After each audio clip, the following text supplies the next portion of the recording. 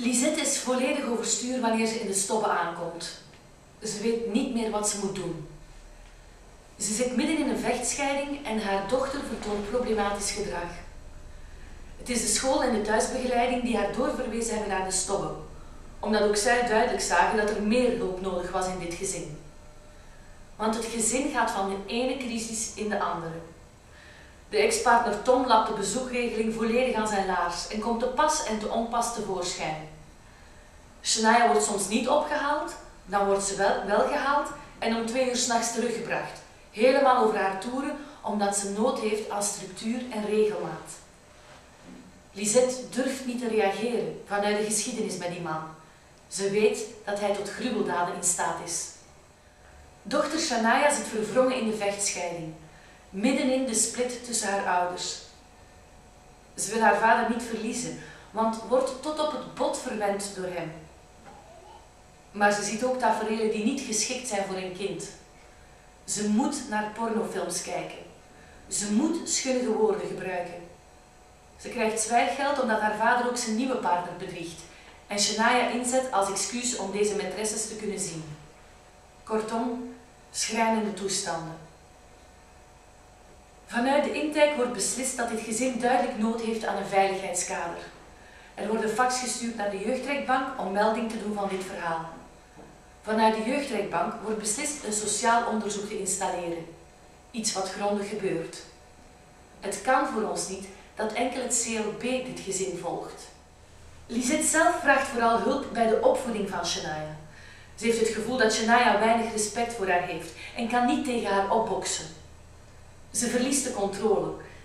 En gezien Shania trekken heeft van haar vader, wordt ze ook de hele tijd geconfronteerd met haar verleden, waardoor ze van zichzelf zegt niet altijd consequent te kunnen reageren.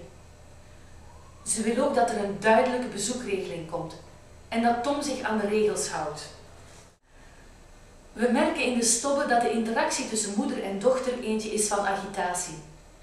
Shania daagt moeder uit, Lisette reageert fel terug. Gaandeweg leren we haar om haar zenuwen onder controle te houden, rustiger te, worden en ook notie te hebben voor de gevoelens van Shania. Ze verwoordt het tijdens een gesprek als volgt.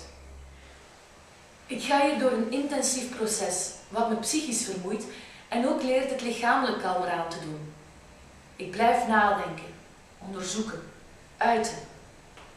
Ik wil ook evalueren welk effect het heeft op mensen, van zaken op een andere manier aan de man te brengen. Ik krijg veel positieve reacties over de rust die ik verworven heb.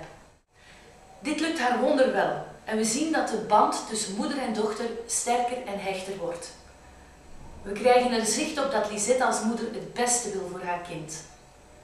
Ze werken samen erg hard tijdens de behandeling en we zien Lisette meer en meer openbloeien. Ook Shania geeft aan minder last te hebben van nachtmerries en Maar toch draagt Shania logischerwijs haar zware verleden mee. En is het belangrijk om haar goed op te blijven volgen. We adviseren dan ook om haar te laten opnemen in kinderpsychiatrie, om verder te werken rond haar angsten en eetstoornis. Sinds het traumatische voorval tijdens de vakantie met haar vader heeft Shania constant schrik om bedorven voedsel te eten. Ze heeft last van separatieangsten, angst voor kippen, angst voor bloed en injecties, angst voor tandarts en dokter, angst om over te geven of zich te verslikken. Ze heeft posttraumatische stress, focus op voedsel en motorische tics. We verbieden dan ook dat Shania dit jaar mee moet op vakantie met haar vader. We willen de loyaliteit van Shania naar haar vader niet helemaal ondermijnen, maar eisen dat bezoeken enkel geregeld worden via een wettelijk kader. Dit wordt ook door de jeugdrechtbank erkend. Lisette zegt op de laatste dag, ik neem mijn eigen waarde mee. Ik had schrik om hier te starten, angst voor wat het ging zijn. Maar ik heb hier geleerd om me in te leven in Shania, kritiek te aanvaarden, de psychologie van de oplossingen, zelf je eigen oplossing zoeken en in jezelf geloven. Deze reis gaat mijn hele leven verder.